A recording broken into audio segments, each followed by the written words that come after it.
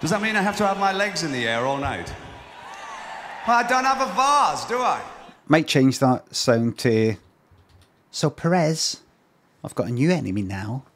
It's not you, it's him, not your enemy.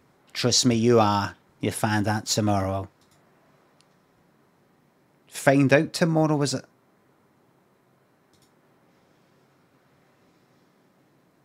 So Perez, don't worry. I've got a new enemy now. It's not you, it's him.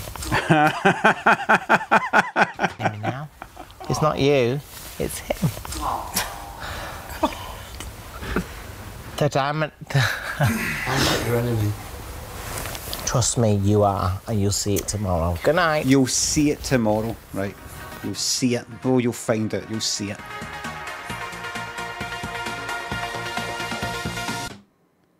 That guy's dead now, Keith Chegwin. And this is how he spent his last few years.